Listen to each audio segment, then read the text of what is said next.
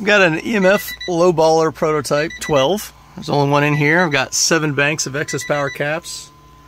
Got a uh, America 12K prototype. The production model will be going in here. Um, I never get around to it. Maybe next week.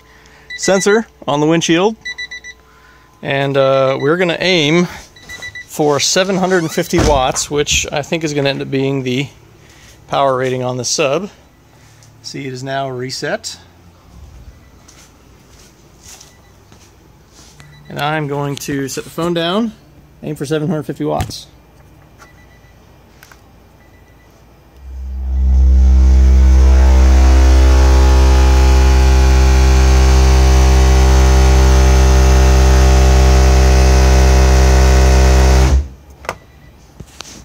Well, I went a hair over. Uh, 751 is when I turned off and then jumped to 780, but uh, 47.5 on rated power.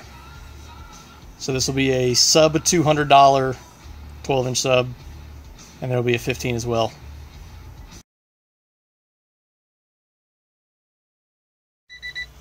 EMF Lowballer 12 prototype, America 12K prototype. Production models are shipping now. Just haven't put one in here yet.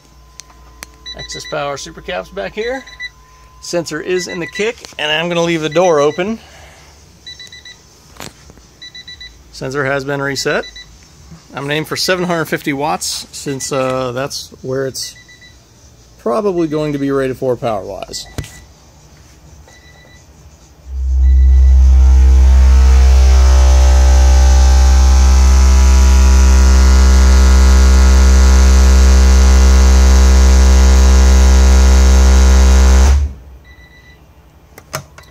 All right, track ended and I came up a little bit short on power at 744 and got a 149.9.